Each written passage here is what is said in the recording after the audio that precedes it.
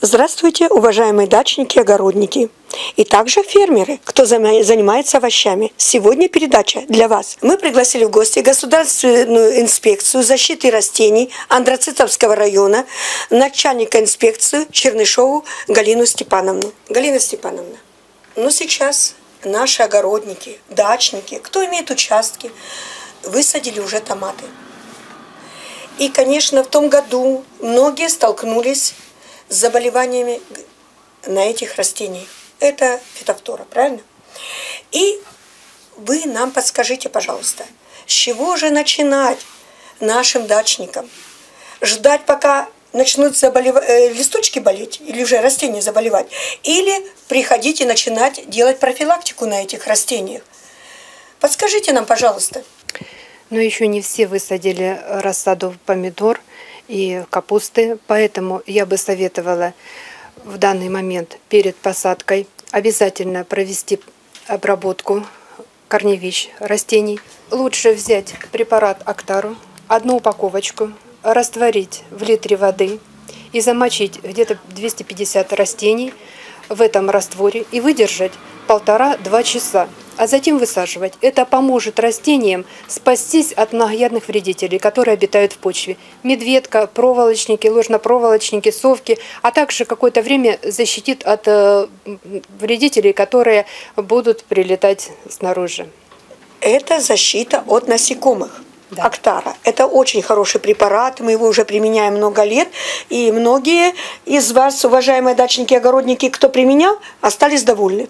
Поэтому применяйте обязательно, потому что когда вы высаживаете растения, особенно на дачах, вы же не контролируете постоянно, прилетел там колорадский жук или нет, правильно? И надо что? Лучше замочить. Тогда ваши растения, вы когда придете на дачу, они будут в хорошем состоянии. Листочки не будут повреждены насекомыми. Не почве, которая насекомые, вот Галина Степановна сказала, не на поверхности.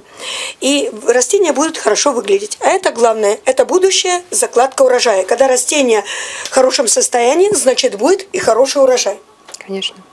О насекомых мы с вами поговорили. О защите. Конечно, в настоящее время, тем более влажная погода, частые осадки у нас выпадают в этом году, необходимо проводить профилактические э, мероприятия против заболеваний. Это касается фитофтороза картофеля. Ранее сроки посадки картофеля, кто рано посадил, уже фаза растения достигла бутонизации, и можно в это время проводить обработки против фитофтороза. Затем, после того, как фитофтороз проявляется на картофеле, начинают болеть томаты. Поэтому необходимо проводить профилактические обработки как и картофеля, так и помидор. Сейчас чемпион мы применяем на картофель и на помидоры. Да, Это первая обработка. Чемпион – это медисодержащий. конечно. Так, а вторую обработку через сколько нам желательно сделать? Ну, если влажная погода так и будет продолжаться, через 14 дней необходимо провести снова повторную обработку. И я И смотрю, лучше вы достали тату. препарат. Это, это системный препарат. Он хорошо поможет и картофелю, и помидорам, и он еще содержит и стимулятор роста.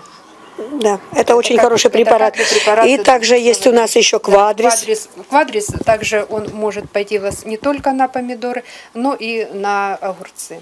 Этот препарат. И от колорадского жука. Какие Конечно. сейчас лучшие препараты? Ну, в настоящее время существует большое разнообразие препаратов, большой выбор препаратов, так что это уже зависит от, э, можно сказать, содержания кошелька, э, смотреть э, стоимость препарата и выбирать то, что кому больше нравится. Кто-то уже работал каким-то препаратом, ему он понравился. Поэтому здесь конкретно сказать, что только одним препаратом можно работать. э, Препаратов существует очень много. Антижук хороший препарат, ратибур хороший препарат. Многие наши телезрители хотят быть уверенными, что они приобрели препарат, и он сработает 100%. Расскажите, пожалуйста, где нашим телезрителям приобрести эти препараты, чтобы они работали и не ошиблись. Как в том году многие приобрели, потом приходили и говорят, а какая разница, это же конфет но он только в ампулах. Какая разница, что в вашем магазине, что я взял на рынке? Вот расскажите, пожалуйста, вот этот самый важный момент, чтобы человек всегда был уверен, что он приобрел тот препарат, который будет работать и который в дальнейшем не отразится на его здоровье прежде всего. Конечно, это очень важный вопрос. Вы прекрасно видите, что и на рынках существует очень много точек, где продают препараты, средства защиты растений.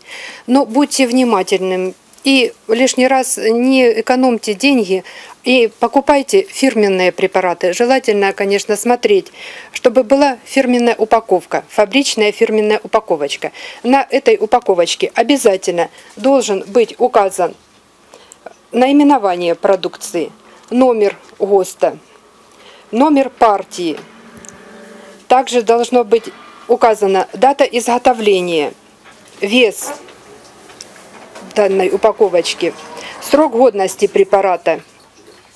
Обязательно должна быть указана наименование фирмы-производителя, его адрес, телефон, факс – это обязательно должно быть указано на упаковочке. Также на упаковке должна содержаться информация, против какого конкретно объекта работает данный препарат, на какой культуре, меры предосторожности при работе с данным препаратом и э, оказание первой необходимой помощи в случае отравления этим препаратом.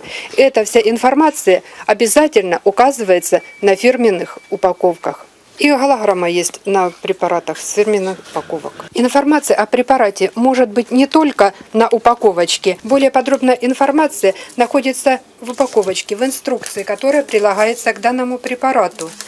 Она содержит культуру, на которую применяется данный препарат, вредитель, против которого работает препарат, и указывается кратность обработок, обязательно норма расхода этого препарата, как он правильно разводится, и срок последней обработки до сбора урожая. Это обязательно должно быть указано в инструкции. И все, что я говорила ранее, меры предосторожности, первая помощь, которая оказывается э, в случае отравления данным препаратом, все это указывается в инструкции к препарату.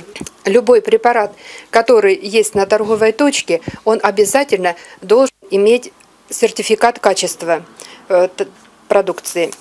Значит, в сертификате качества указывается э, номер партии, и он должен соответствовать номеру партии на коробочке или на упаковке данного препарата. Кроме того, те люди, которые занимаются реализацией средств защиты растений, должны иметь лицензию должны иметь допуски и удостоверения, и должны быть обязательно сертификаты качества на данную продукцию. И я повторюсь снова, препараты должны иметь фирменную фабричную упаковку. Тогда вы с уверенностью можете знать, что это не подделка. Это настоящий фирменный препарат, который вам поможет. Уважаемые дачники, приобретая препараты, будьте очень внимательны. Я не заставляю вас спрашивать сертификаты на каждый препарат, но обязательно посмотрите, есть ли на точке лицензия, то, что человек имеет право продавать эти препараты. Когда есть лицензия, значит, люди, которые продают эти препараты, они обучены. И вы будете иметь гарантию то, что вы купили тот препарат, который не повредит вашему здоровью. Мы сейчас поговорили о колорадском жуке на картофеле и о заболеваниях.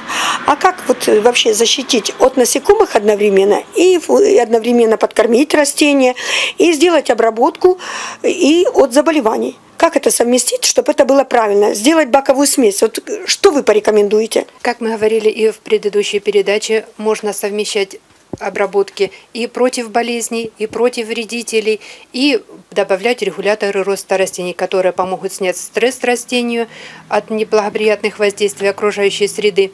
Поэтому желательно делать боковую смесь и обрабатывать комплексом препаратов.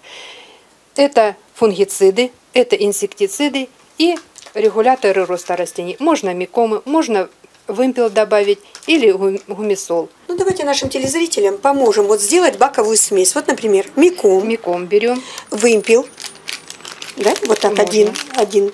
Конечно. Потом фунгицид. Давайте выберите вы сами, Фунгицид. какой Ну, сейчас в лучше. настоящий момент можно чемпион применить. Чемпион, да? И от колорадского жука. И от колорадского жука, ну, разнообразие препаратов, можно Актару, можно Конфидор Макси, можно антижук. Ну, Здесь давайте уже- вот эту да. боковую смесь давайте покажем нашим телезрителям. Какая хорошая получается боковая смесь. Мику, микроэлементы.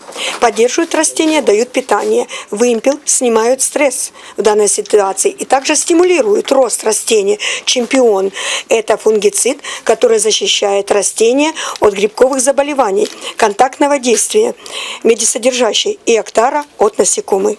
Все это совмещаем в одно ведерко и, и опрыскиваем. Одной обработки, конечно, для защиты овощей недостаточно.